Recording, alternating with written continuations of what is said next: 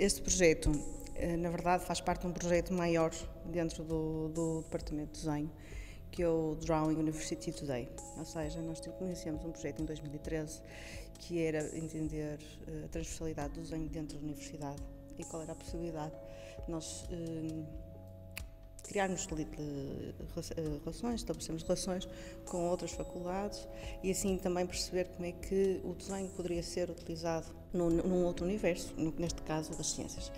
O facto de ser um universo que é muito distinto, porque estamos a trabalhar com objetos que são da natureza da ciência, não é? Portanto, não são da natureza do desenho, não são objetos do cotidiano, eh, obriga, não é, a uma espécie de, de paragem, não é? E essa eh, esse confronto com a realidade também obriga os alunos a ter uma visão mais atenta sobre aquilo que estão a observar.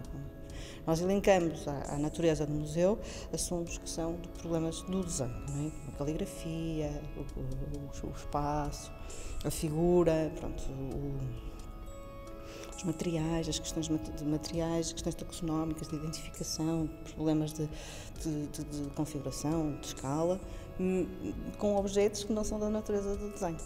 A exposição vai começar com um trabalho de reconhecimento. Esse é o primeiro impacto, o primeiro momento uh, onde não se conhece ainda o museu. Na verdade, quando nós escolhemos um museu anatómico, interessava-nos muito estar a, a, lidar com um contexto que fosse ao mesmo tempo familiar, são as imagens do, do corpo, e ao mesmo tempo estranho, porque é um ponto de vista ao qual nós raramente temos acesso. E este primeiro momento implica um trabalho que é simultaneamente de reportagem, um levantamento mais ou menos exaustivo das peças, dos espaços, e depois um segundo momento em que implicará também uma análise uh, diagramática, medida destas peças. Há depois diferentes uh, abordagens que vão implicar diferentes modos de ver e também diferentes modos de conhecer através do desenho. O aluno terá de explorar também as possibilidades e potencialidades do gesto para compreender peças que não podem ser explicadas de outra maneira, sobretudo porque há muita informação nestas peças que é muito mais, é mais facilmente compreendida eh, recorrendo a imagens do que propriamente recorrendo a descrições verbais, ou recorrendo a imagens que são imagens motoras, imagens do gesto. Este lado mais áptico e gestual corresponde a um outro momento da exposição. Há um terceiro momento que corresponderá a uma experiência muito mais intensa ao nível das estratégias, dos meios e, e da percepção que o aluno tem de que se ele mudar o meio, ele muda também a forma de comunicação. Há um momento que depois tem a ver com o lado taxonómico do desenho, aquilo que, regra geral, nós associamos muito mais à ilustração científica ou à imagem que é divulgada pela ciência. E há um último momento, que é um trabalho de recombinação, um desenho de montagem, onde o aluno vai recolher fragmentos de diferentes uh, objetos e de diferentes experiências e tenta, através disto, recombiná-las numa nova situação. O que nós propomos aqui é simultaneamente um percurso uh, sobre estes diferentes momentos do trabalho, um percurso sobre estes diferentes modos de ver, percebendo que quando nós estamos a falar em desenho, na verdade estamos a falar em coisas que são muito distintas dentro do mesmo processo de trabalho. No final, gostaríamos que esta exposição pudesse ser vista como um reflexo uh, de um espaço que não pode estar presente, que é o Museu da Anatomia.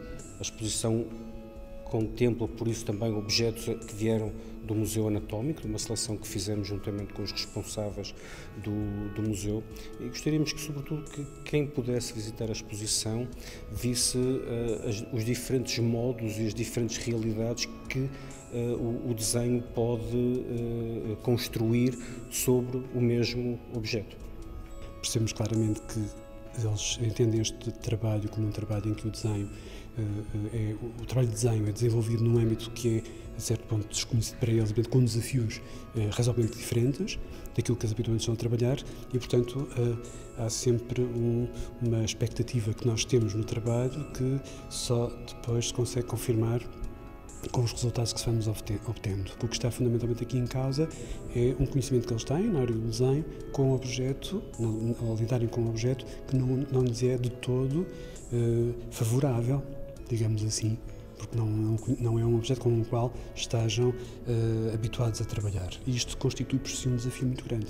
Portanto, ao longo destes, destes quatro anos, este desafio uh, tem sido, do nosso ponto de vista, superado eh, pelos estudantes e eu acho que é da maior importância, ou entendemos que é da maior importância manter no contexto do, em que trabalhamos isto em desenho, em desenho 2. E, portanto, neste sentido, só podemos avaliar estes quatro anos como, como um, eh, altamente desejável para, para o futuro continuar com um problema desta natureza.